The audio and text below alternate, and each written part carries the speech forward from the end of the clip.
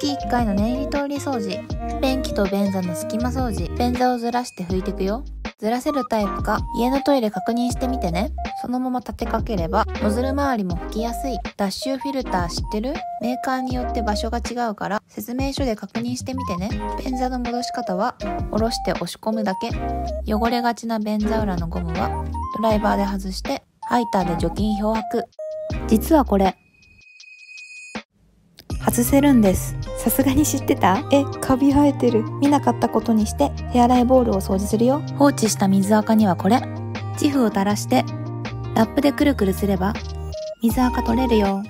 せっかくなのでついでに撥水コーティングスプレーして拭き取ればピカピカ蘇ったよ。あとは上からはめるだけ綺麗になったよ。次回この中綺麗にします。タンクの蓋外したらねなんとカビてましたってことで掃除します。まずはネジを回して水を流して準備完了。いざ開けます。